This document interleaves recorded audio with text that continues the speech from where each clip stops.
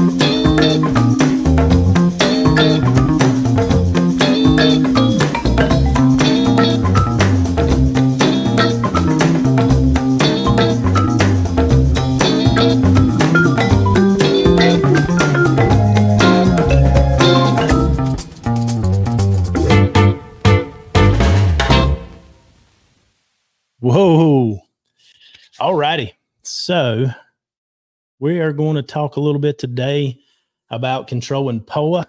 And um, I want to thank everyone who watches. And hopefully, this benefits all the fescue freaks out there. I know that I enjoy the dark color turf, and I do not want to look at lime green POA.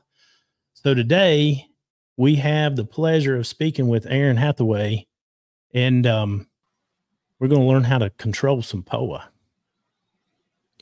Sweet. Right. It's good to be here. Thank you, man. Thank you for your time. Yeah. How you doing? So I guess the big news is we have a product that is returning. So I wanted to get my hands on this product a couple years ago and it had went away and um, I couldn't grab any. So now I've got the opportunity here in a couple weeks to um to get me some and give it a shot. Yeah, no doubt. It's back. So I've been excited that it's back. Uh, the product's called Velocity, and I think it came out in 2004. So mm-hmm. uh, I worked for a company called Nufarm, and and so it came out before I worked for Nufarm, um, mm-hmm. and then went away in in 2018. So it's it's uh, I'm excited because it's going to be priced better for for people who might want to use it in lawns, um, for lawn care operators, for people like yourself uh, mm-hmm. who might actually want to buy some and use it. Uh, it wasn't it wasn't priced as well as it is now. So there's more potential for more people to use it to control annual bluegrass or poa triv uh, in lawns than there was before. Yes, sir. Yeah, and actually on the it's pretty crazy on the way here to jump in. I stopped and uh, let's see here. This is a yard right down the street from me. And I have watched that over the last three years continue to take over. So for those that don't know, that's Poa triv, and it's it's a butthole. I think it's way worse than the Poana myself. Um, but anyway, that's that is something that um, like I struck up a conversation with him for a few minutes, and he's super interested too. So cool. Yeah, I mean, you said it uh, I, I think Poa triv is worse than annual bluegrass as well. It's more of a perennial. It's, mm-hmm. it's weakly stoloniferous, which means it can spread a little better than than annual bluegrass. Um, seems to be a little bit stronger. Can it's got longer legs through the summer and can do better through the summer than annual bluegrass. So, um, you know, in a lawn lawn situation, we have a perennial plant. So you have tall fescue, which is Mhm. a perennial plant that keeps coming back. And one thing uh, we often say in weed science is that the weed mimics the crop. So we often have weeds in, in lawns that are a perennial as well, because we're not disturbing that soil or we're not rototilling it, things like that. So um, I think especially in your area, especially in tall fescue where nothing goes dormant completely, um, you tend to see maybe more poa. Like I said, especially in your area. I think as you move uh, further north, you still get a lot of poa but you'll tend to see more annual. I'm in Michigan, so I see a lot of annual bluegrass, probably more annual bluegrass than poa triv. And then once you get into dormant, dormant warm season grasses, you'll probably see more annual bluegrass in those situations as well. Yeah. But poa triv is tough. There aren't a ton of answers for it. We don't have a lot of products that you can apply to control poa triv selectively, especially mm-hmm. in cool season grasses. Well, see, the the thing that I see about it is like I had poa annua problems in the past before the turf was thick as it is. Yeah. So if you do have a thicker stand of turf and you don't have bare spots, you have a better chance of beating out poa annua. Where it doesn't matter what the tree of like you keep fighting and it's it goes dormant and you think, oh well, it's it's gone. No big deal. And the next thing you know, it pops back and it's larger. Mhm. And if you don't do something about it, it just keeps getting larger. And last year I got sick of looking at the couple places I had. So I got aggravated one day and I went out with the non selective and I popped about 20 spots. They were about the size of a group for uh, grapefruit. But the problem is, you know, you got to spray larger than they are to make sure you get it all. Well, then I got ugly spots until I can get germination and, you know, turf back. And one thing that I've really learned in this is mature fescue is valuable. Once you get it past a year old, it's tough, it's stronger. You don't want to get rid of it. So a selective something like this, and it's going to make life a whole lot easier for me. Exactly, mm-hmm. exactly me. So and others. Yeah, no doubt. No, I think sometimes we underestimate competition and what that does for us. You, you said that you you use a non-selective product to to pop some spots, right? To knock uh, t- you know about twenty spots out. Mhm. And what what that does, even if you have some fescue in the middle of that spot, a little bit here and there, uh, you end up killing those plants as well. And so you lose out on the competition from those plants that you would otherwise have if you're using a selective herbicide. And like I said, I think we underestimate how much power there is in, in that in that competition that those other plants bring. They're able to fill in those voids a little faster because you didn't kill all of it in that spot, and um, it can weaken any if those poa triv plants are able to survive a little bit. Um, there's less chance if you have other plants around it surrounding it. So selective products can be more effective. Obviously, you're going to see you're not going to necessarily end up with dead spots, depending on depending on what your poa triv spots look like. Mhm. If it's like that first picture I pulled up. Yeah. No, my lot of grass. spots, my spots are not like that. Um, what's really crazy also is this past weekend I took off to Savannah for a concert, and we went out and walked in this park and look at this. This is just tons of poana. Yeah. Um, I'm not exactly sure what their turf was there. It's definitely dark. It's I don't know if it is a fescue or a bluegrass. It was really short. It hadn't been mowed, but the poa just, you know, like I, everybody's out there playing and enjoying a pretty day, and I'm out there scoping out poa. Sure. It's just ruined. It just ruined it for me. Like you know, Yeah. the whole place was consistent, it'd been beautiful. And But- it's not even at its at its ugliest Peak. stage yet. It's not No. producing all that seed yet, which is when it really sticks out, when it really looks bad. So yeah, in in a in a little while, it'll look even worse. yes, sir. Yeah, What concert did you see out there? Riley Green. Riley Green. Okay. Yeah, I like his music a good bit. So, one question I do have on Poana and seeds, I don't know if if you know or not. Um, how mature do those seeds have to be before they will germinate in the future? You know, like Yeah. how long is is there a is there an answer there? Because Mhm. I've got you know I don't know 15 places out here, which is really nice as far as Poana for me. Um, my Poana is down the edge where everybody runs off the road and compacts the crap out of the soil and you know basically kills off my fescue for me because they won't stay on the road. Mhm. But I try to get out there and either burn it with a torch, thinking that, you know, hey, I'm going to kill the plant and the seed too, or I pull it up and throw it away. But even when you're pulling up, you may, a few seeds may fall, fall off the stalk or whatever. And I'm just wondering, like, does it have to be aged? Is, is it younger? I mean, yeah, I mean, annual bluegrass, you know, we talk about Poa triv and Poa annua. They're both Poas. And then, um, you know, Kentucky bluegrass is a desirable turf grass that you'll see further north more often, um, which is Poa pratensis. So they're all Poa species. But one thing that sets, you'll see all of them produce seed, but one thing that sets Poa annua or annual bluegrass apart from those other two is it will produce tons and tons of seed. I mean, it goes to seed like crazy. It's mm-hmm. it acts more like a true annual, I guess. Um, and you know, as you move further south, you'll it'll die in the heat, and then it'll come back from seed often. And so it produces tons of seed. The crazy thing about annual bluegrass is, and you probably never see your tall fescue produce seed, right? Maybe here and there you'll see a few. I do see some, and as I've okay. got into better cultivars, that was one reason I moved into better fescue cultivars was to seed to see less seed heads. Sure. Because your cheaper your cheaper cultivars, you know, produce more seed heads. So. Yep. Annual bluegrass though is notorious for just producing tons and tons of seed. And um it doesn't matter what height you're mowing at. So even in, you know, golf courses, annual bluegrass goes crazy just because you're mowing at at a half inch on a fairway or a tee, you're mowing at uh, an eighth of an inch or less on a putting green, still those plants are still producing tons of seed.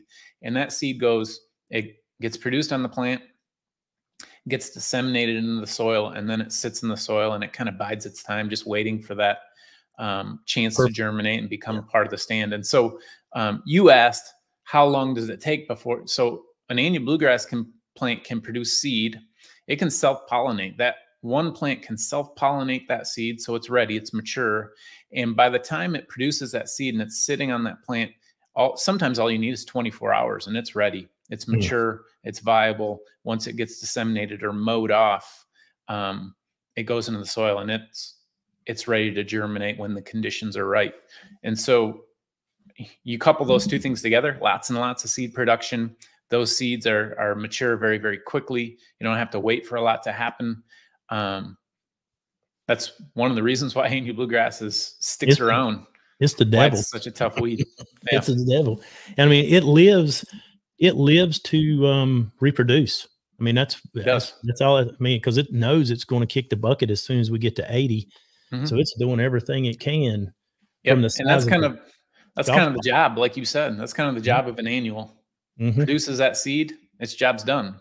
Yeah. And now the heat comes it didn't put much energy into into rootstock or anything like that, and it succumbs to the heat and dies. But it's not like it didn't leave anything behind. And so anytime you know you get some tall fescue, you get some really hot summers, you thin out that tall fescue over the summer, and that's when annual bluegrass just germinates the the following fall. It overwinters, it produces more seed, and then it doesn't matter if you you kill everything and reseed this the seed is still in that soil and that's the tough part about it yeah. is uh, even when you see the plant disappear, it hasn't really disappeared. There's plenty of seed in the soil. No, that one plant has made hundreds of more plants, possibly, mm-hmm. if you don't do something about it. And anytime that you have bare ground, I always say it's game on for germination, you know, unwanted germination yeah. because it's bare ground. And especially if you go out there and you rough it up and you core plug or you do something disturb, you know, you flip that seed up where it can get you know, closer to the top of the soil and rain comes, you're gonna have germination. No doubt. Same's true of Poa triv. Um, and maybe Poa triv is a little worse in certain certain areas at least, um, just because it'll produce seed and it has some vegetative uh, reproductive parts that it can regrow from. So some of those weak stolons, um, it might put a little more energy into a root system so it can survive a little longer. So it's definitely I would say Poa triv is definitely tougher to kill than annual bluegrass, mm-hmm. um, pound for pound. Well, the bad thing is, is to me, you know, the Poa A, Poa annual comes along, you see it, it's terrible looking, it's limey, it disappears, you sort of forget about it. If you have a thick stand of turf or you do something, then possibly it doesn't come back. But with the Triv, if you don't take care of it, it it goes dormant or whatever from the heat. You forget about it, and then it Yeah. comes back larger. You know, like them, like you're saying, it just keeps sort of spreading under the ground, and Yep. you know, like that place there, I pulled that picture up of. I've watched it over the last couple of years. It just keeps, just keeps going and going. So Yeah, that's years of those patches. You know, the patches that you had in your yard that you killed Mhm. non-selectively. That's years and years of those patches just getting bigger and bigger and then coalescing, coming together. And then, I mean, you saw portions of that lawn that was all poa triv. Yeah. Yes. Yep. And the only other thing that I'll say, like I've done for Poetry, of which is a lot of work, is I have sprayed those spots, let them die out, take a sod cutter, cut that spot out, go rob sod off the back of the property and put in that spot. But it's a lot of work. I'd Mhm. much rather, you know, buy a selective Yeah. herbicide and take care of it. And I'd much rather do that instead of Sure. you know doing that kind of thing. It's a ton of work. Yeah. It is a ton But of work. Instant competition too. So makes sense. I mean, that's one way to go about it. But yeah. So, do you want to look at this? Um, what do you you want me to pull something up for you to Sure. speak on? The you can pull up those slides and I can I can kind of introduce velocity PM, reintroduce velocity PM. So um, some of my colleagues laugh at me because I'm I worked with velocity. I, I worked at Michigan State University for a long time doing research in in turf grass, a lot of weed science type research. And velocity was one of the first products that I worked with a lot, like year after year uh, Mhm. learning the ins and outs of it. Um, and so Velocity is a product that I knew really, really well back in the early 2000s, just because I was spraying it a lot for research purposes. And so it was around. And by the time I got to the industry side of the business at Nufarm, it was gone. And so a product that I worked so much with, all of a sudden I get into industry and it's gone. So I was excited for it to come back. Um, I've been lobbying for it to come back and uh, here it is. So I always tell people that it's like an old friend who who moved away for a while, Yeah. and uh, now we moved back, and I get to get to talk about him and, and hang out with him a lot more. So Well, I'm ready to hang out with him. yeah, me too. So Velocity PM is a it truly is a POA management tool. That's what it is. Its uh, claim to fame is that it is a herbicide that will actually kill POA triv and POA annua. Those two grasses, grass species in particular. It has some activity on some some broadleaves as well, but those are the main targets for Velocity PM. And so I remember the very first um, marketing campaign for Velocity when it came out was a silver bullet uh, ripping through a, a annual bluegrass plant. And so it, they call it the silver bullet for annual bluegrass. And we always used to tell people, uh, just be careful. It will actually kill annual bluegrass. So a lawn that, you know, you showed that picture of that lawn that was, uh, man, 80% poa triv and at least in some portions and some sectors of that lawn. Um, same thing, like be careful. You're gonna kill POA with this product. And so that's what this product is. It is safe, you know, for you, the uh, fescue freak. It's safe on tall fescue, which is awesome. It can be used in a lot of cool season grasses. We don't have a ton of tools for POA control and cool season grasses. We have a few. And so um, I'm excited for more use. Like I said, in the lawns, it's been used a ton on golf courses before. It's Mhm. so it's safe on Kentucky blue or sorry, it's safe on creeping bent grass. So a lot of golf courses have creeping bent grass fairways and tees. And so it was used a lot in that particular area. But it's also safe on tall fescue. It's safe on fine fescue, um, safe on perennial ryegrass. The one that it's not super safe on is Kentucky bluegrass. So if you have a Kentucky bluegrass lawn, um, it has marginal safety on Kentucky bluegrass. And if you remember, I was talking about Poa annua, Poa triv. Those are the targets. Kentucky bluegrass is Poa pratensis. So it's a much more closely related um, turfgrass species to Poa annua and Poa triv. So makes sense that there's just marginal safety on Kentucky bluegrass.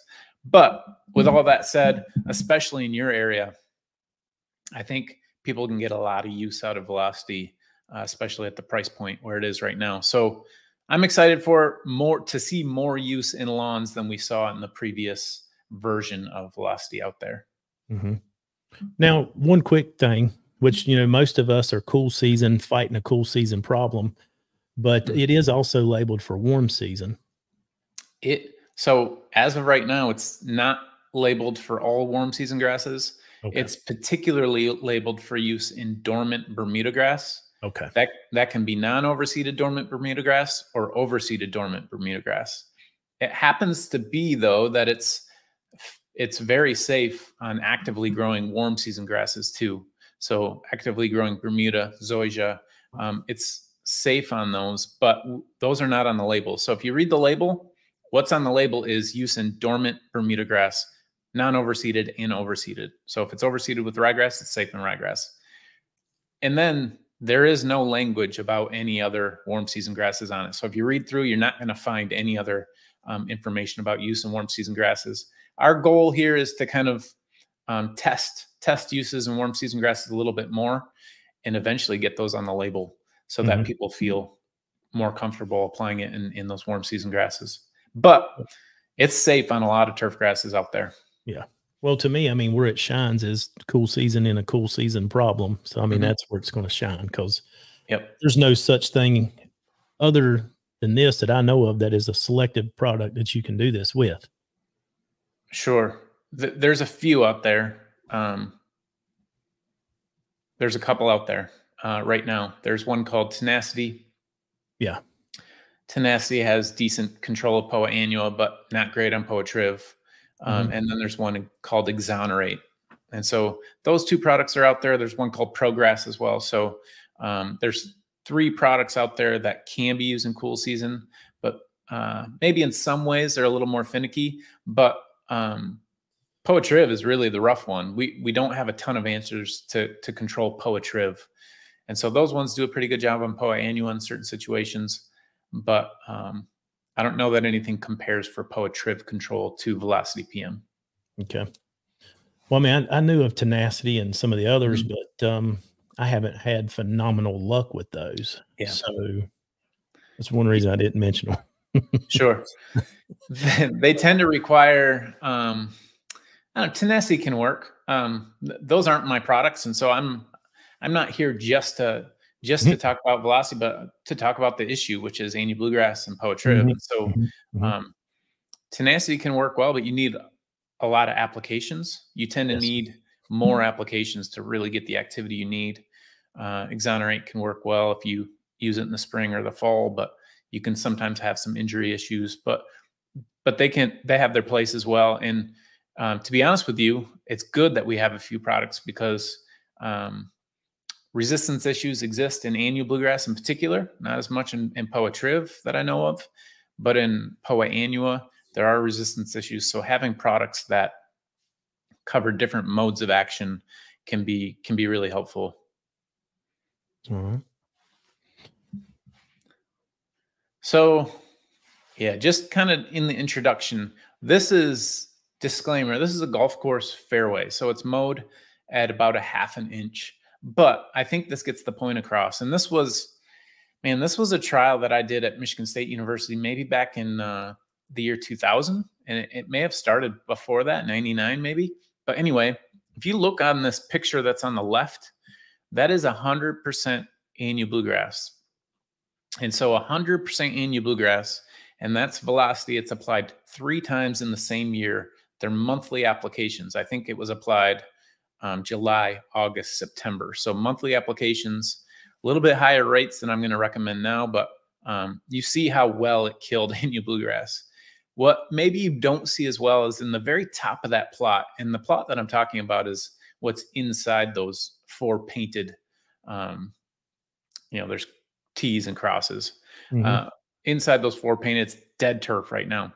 But at the very top of the plot, you can kind of make out three. They're cup cutters, so that's a it's a golf term, but it's about four inch um, diameter Circles. um, plugs, yeah, or circles of creeping bent grass up at the top. Those Mhm. could very well be tall fescue. Those could very well be ryegrass. Um, but that's creeping bent grass up there, but it's it's safe on these other turf species too. If you fast forward two years after that photo on the left was taken, you see the photo on the right. and you see we continued those applications even though we're looking at bare ground on the left uh, left side. We continued making those monthly applications July, September, or sorry, July, August, September uh, for two more years. And this is after three years of making those three applications per year. And now what you're seeing is creeping bent grass. And you're seeing it come out of those plugs that were at the top of the plot and move down. Mm-hmm. And there were probably a few plants, you know, here and there that kind of filled in as well. But we did nothing other than just spray those plots three times a year for three years. And this is what happened. It went from 100% annual bluegrass to we're still not completely there, but we didn't add any seed to this or anything. The seed that was there was only annual bluegrass seed in the soil. No bent grass seed was added to this other than those three plugs at the top of the plot. But eventually it filled filled in with with uh, creeping bent grass. And so creeping bent grass is a really good mover. It's got these stolons, so it it keeps kind of moving along along um, maybe kind of like poa and so maybe you you certainly wouldn't see this kind of movement from tall fescue you would need to get some seed in there because you need some stolons or rhizomes to move those plants along but mm-hmm. i think this really well illustrates how effective velocity is at killing annual bluegrass and then how safe it can be on these other cool season species by even letting uh, this particular species creeping bentgrass take over that plot over a three year period. So, to the right of the two year test, outside of your white paint marks, mm-hmm. is that Poa that you see all dotted yep. over to the right? Okay. Yep. It doesn't look as yellow as the plot, as the area mm-hmm. on the left, mm-hmm. but we may just had more fertility on it this, at this point or something like that. And so, oh. but certainly during certain times of the year, it would look as yellow as you see on the left. But yeah, mm-hmm. Surrounding it is all ANU bluegrass. Okay, cool deal. And so um, the keys to success, and I have a little, um, there's a little typo there, but the keys to success is that velocity works best as the temperatures increase. And so if I had my very, you know, best management practices for people who are going to spray velocity and want really good success at killing either annual bluegrass or poa triv is waiting until those temperatures begin to warm up now. So I don't know where you're at right now, Olee, um, but you guys are probably starting to warm up. Mm-hmm. I know mm-hmm. even here in Michigan, we're we're starting to warm up already here in February. Um, so you see the target there is 60 to 90 degrees Fahrenheit, and I'm going to tell you that generally you're going to have more success as a, as you're at the warmer side of that that range of temperatures than you are at the cooler side of the range of te- temperatures. The reason for that is because you want plants that are growing. And so both annual bluegrass and poa triv, they're going to grow a little bit more as those temps increase. And the hotter they are, those plants will even be more stressed. And so that kind of aids control when they're a little bit more stressed. But I understand that people aren't going to want to wait too long. So the key is to get into that pretty consistent temperatures of at least 60 degrees. And when you're in those lower temps, expect that it might take a little bit longer. Maybe you'll need an extra app in there, but warmer tends to be better for for uh, better control. The other thing that these are going to do is if you make those apps before any seed head production takes place, it's really going to limit any seeds that are produced by those plants pretty well. Um, one thing to watch out for is, you know, sometimes you think about it with a, any herbicide. If you apply it at a at a certain rate and you get decent kill of certain plants, sometimes you think, man, if I just if I just go to the high side of the rate, then I'm going to get even better control. Well, sometimes with these grasses, it's all about making more applications, not necessarily just increasing the rate. Because often it's about these uptake events. A plant can only take up so much of what is sprayed at one time. So, uh, what it's supposed to say is a 2x rate is not equal to twice the control. And so you'll see in the in the program that I'm going to talk about here for uh, POA control in fescue or whatever lawn that you have, whether it's ryegrass fescue or fine fescue um, or dormant Bermuda grass, that uh, you need at least two applications. The more applications you have, the better, but you're going to need at least two applications to get good control. And so applications, the number of applications matters. The other thing that matters is that um, interval between applications. If you wait too long, that POA will tend to just completely recover before you make the second application.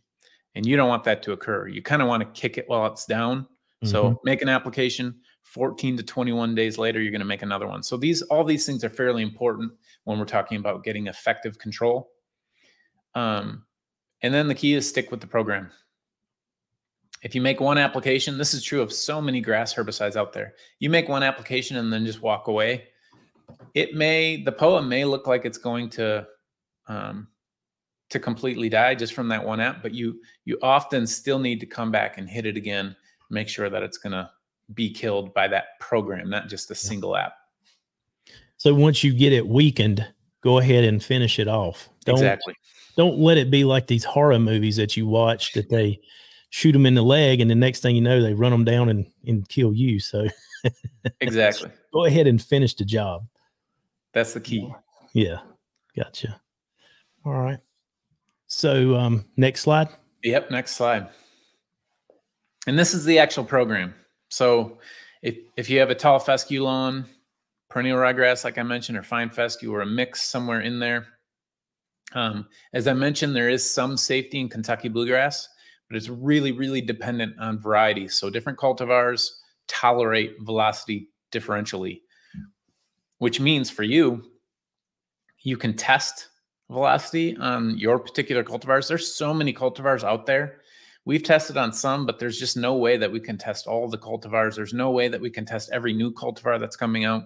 So you could test it on your particular um, cultivar or cultivars of Kentucky bluegrass and see how safe it is. It, it's very safe on some and it's not safe on others. So, like I said, it's very dependent, but it is safe on tall fescue, ryegrass, fine fescue, dormant Bermuda grass, whether it's overseeded or not. The program is point number four there. It's 2.25 fluid ounces per acre applied twice at a 14 to 21 day interval. And so that's a really low use rate. This product is very low use rate. And so if you buy it it comes with a little five mil syringe. So if you're mixing in a backpack or something like that, spot treating, something like that, you really will need that five mil syringe to measure out uh, the correct amount for something like a backpack. If it's a bigger tank, maybe it's not a big issue, but 2.25 fluid ounces per acre each time. If you wanted to, you could come back with a third application and even take more of it out. But those two applications are going to do a pretty good job um, at taking out that POA. Then after this, and I think this is an important point to make, the nice thing about velocity is it doesn't linger in the soil very long. You can actually interseed, add some seed to that soil 10 days after the last application. That's that so was going to be one of my questions yep. right there. So that's a big key because mm-hmm. getting that seed in there, remember, annual bluegrass produced lots of seed. If you have tall fescue, it didn't produce much seed that was added to the soil. And so it may have produced a, a little bit, but nothing compared to the POA. So being able to interseed in these areas can be really important. Mm-hmm. Bring the bring the competition back. Bring it back. Hundred percent. So hundred percent. Now is is two point uh, two point two five to the acre. Is mm-hmm. that considered the high rate or no, sir? You you could go at a higher rate. Um, I think you can apply as much as four and a half fluid ounces per acre in one application. Okay. I think that's what the label says.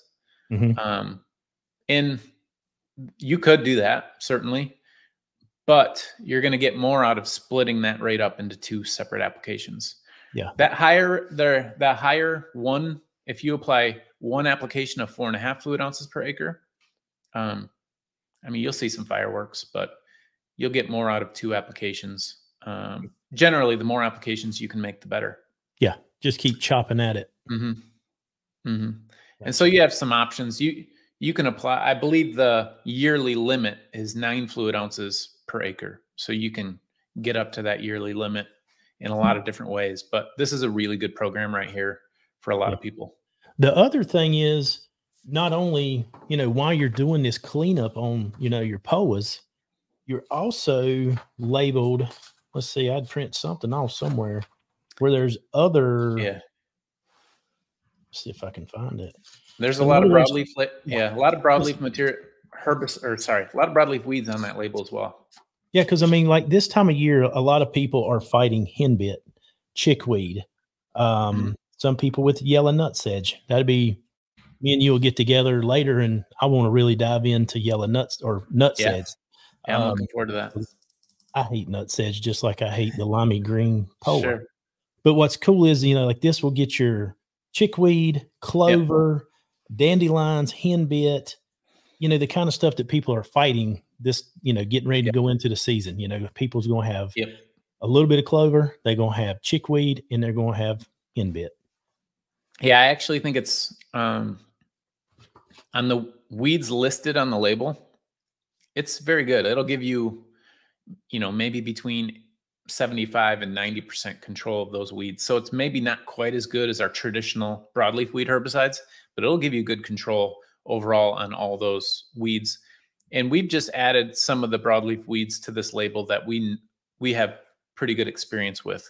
It'll probably have more activity on other weeds that aren't on the label as well. Mm-hmm. Yellow yellow nutsedge is on this label. It's more like suppression on yellow nutsedge on the small yellow nutsedge plants, but the time you're going to be using it is about perfect to get some of those newly emerging yellow nutsedge plants at which it should it should provide pretty good control of those. Mm-hmm. Now my goal is to blanket spray. Now mm-hmm. I only have spots of stuff that I'm aware of, but my goal is to blanket spray, and the reason for it is what I've learned on three acres of actual turf. If you spot spray, you're just chasing your tail because you miss stuff that you either don't see because of your eyes or the sun, but you also miss a ton of stuff that's under the canopy that you just don't see because it's under the canopy. Yeah. Where spot spraying would never get a hold of that. Where a blanket spray, once I've started doing blanket sprays, things are so much cleaner around here because I'm taking care of stuff that is small under the canopy that you would not see until it's poking through. I completely agree with that. I, I think there's so many weeds that you just you just can't see them. You don't see them. Maybe maybe if you got on your hands and knees and really investigated, you you could find them, but they're mm-hmm. difficult to identify as as different from your desirable turf. So it's sometimes really hard to tell what's there. And so I can see people using this. Agree as a blanket spray, especially in year one. Maybe year two or three, you come back and you're getting some spots because remember, there's seed in the soil. You're going to have these these weeds come back. Maybe if you're keeping up with this control in years, maybe two, maybe it's th- year three, depending on how much you start with, coming back and, and maybe at that point you're only uh, spot treating uh, certain areas that come back. So there's a lot of different, maybe long-term programs that you could think about. Yeah, I don't know if there's anything on here you want to cover, or it's basically what you were just telling us. Yeah, so, a lot of good information in here. It's just kind of like, like I said, the best management practices from mm-hmm. Velocity PM. It talks a lot about using it when it's a little bit warmer. It tends to be safer on your desirable species and more active on, on those POA species. Um, one thing that I can mention to people is we don't generally um, recommend the addition of a surfactant when you're using velocity just because it's it's active enough on its own. And so especially when you're trying to take a cool season grass out of a cool season turf lawn, uh, like you've already mentioned, Olee, is it's hard to find a selective material that kills one and not the other. And so you'll see, um, like on tall fescue, I just sprayed some tall fescue I have uh, on my lawn out here, and I did a, a 1x rate, so that 2.25 fluid ounce per acre rate and then I doubled it, and then I multiplied it by four. So 1x, 2x, 4x. In the 10, you the the the phyto that you see or the injury that you see looks more like kind of a PGR effect. You'll see a PGR effect from velocity where it slows growth. So while you're using it, that's one thing that you probably will see is it'll slow growth so that you just won't get a lot of new flush growth. And so you'll notice that part, but it's not it's not yellowing necessarily. It's not um, necrosis. It's more of a slowing of the growth, and that's the kind of uh, if if you want to call it phyto, that's the kind of thing you'll you'll see. It's more of a PGR effect, in in my opinion. Now, one thing you had said earlier about the Poa annua seeds, does it work similar to a pre-emergent for POA? Uh, while it's in the soil, so if while it's still in the soil, so within you know, 10, 10 days. 12 days. It could. So if you had a seed germinate and that root takes up whatever velocity made it to the soil, you could weaken that plant and or kill it. But um, it doesn't have long residual. So it's not like a traditional pre-emergence that's going to sit there for a long time and give you that control. Um, at the very same time, though, you could you could put a pre-emergence down with it that just limits your ability to interseed any anything into yeah. your lawn at that point. So, um, you know, not having residual uh, in the soil or very long residual in the soil, it's it's a plus and it's a minus. It's a plus in that you can add your seed whenever you're ready. Yeah. So that's a that's a big plus in, in my thought process. But um, but yeah, it's not not going to last long, so it's not going to give you this really long control of any new seed that germinates.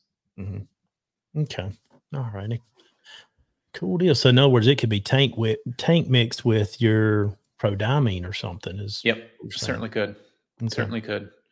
This uh-huh. can be tank mixed with, um, you know, back in the back when it was around for golf course superintendents, they used to tank mix it with um, maybe a little bit of iron, a little bit of nitrogen to maybe mask that PGR effect that's happening, especially from the first app.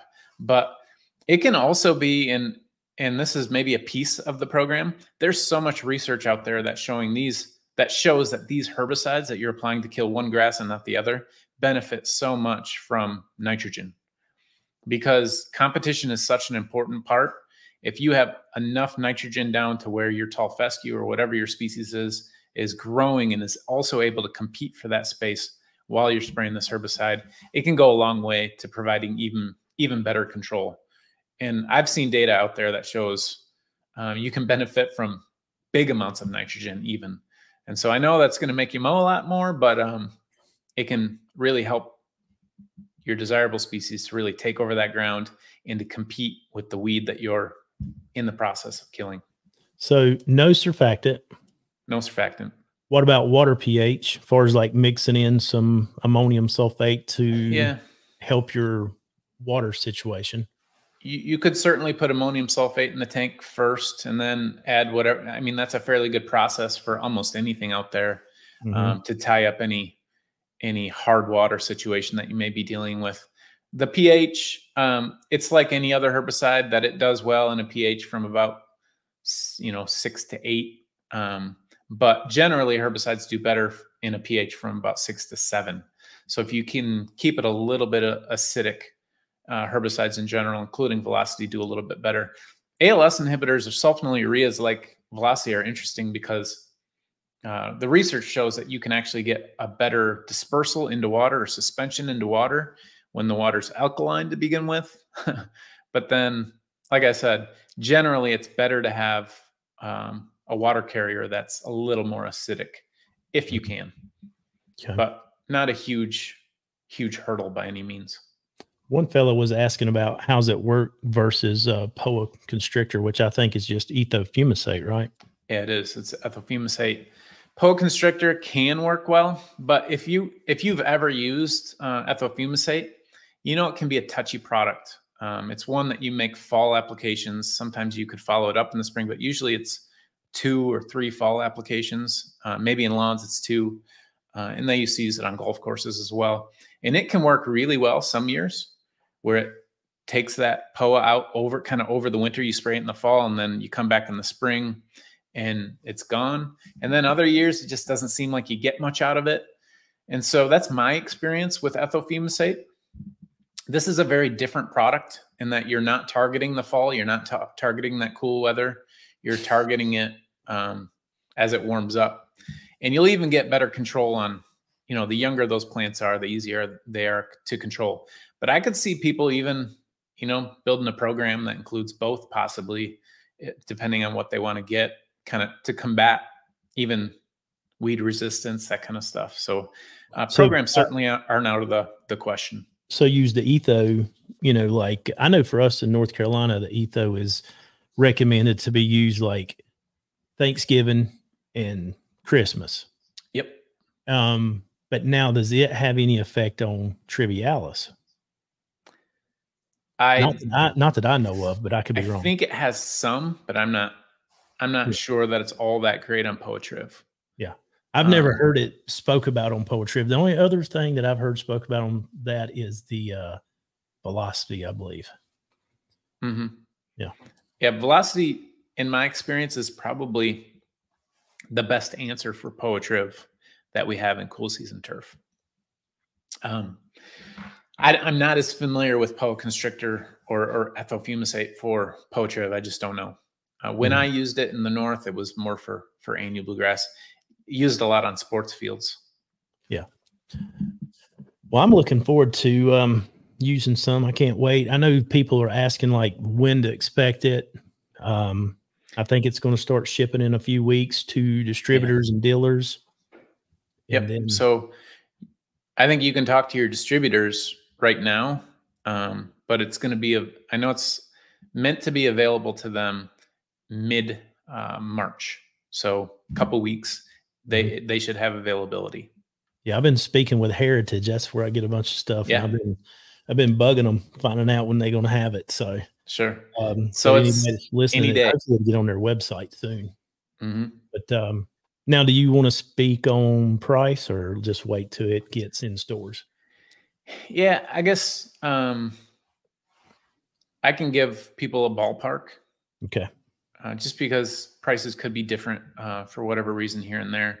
Mm-hmm. Um, but velocity is going to be about $75 an acre for each application. So if you made, and that's at that 2.25 fluid ounce per acre rate. And it's so 16, you made two, sorry, 16 total, 16 total ounce bottle. Yeah, it's a pint bottle, so 16 fluid ounces. So that pint bottle will be fairly expensive if you do your math, um, because it covers a huge area. But the whole program, so 2.25 fluid ounces per acre applied twice, it's going to be about $150 per acre. So it's a lot cheaper than it used to be. Um, and our whole goal with that, or at least a portion of the goal with that, was to give lawn care operate, operators at least the option to to start thinking about using it. It was priced high enough to where uh, a lot of lawn care operators wouldn't even look at it before. Mm-hmm.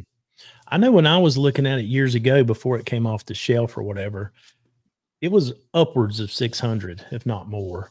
And I really wanted a bottle and, you know, it all depleted. So, sure. But the other thing is, is you can have a good friend and you can, uh, that's right. Help each other out. That's right. So, you can. Well, I greatly appreciate it, man. And like I say, I hope, um, well, I don't hope we will. We'll get together in the future because I want to do something on Nutsedge. So mm-hmm. that is something I want to do here.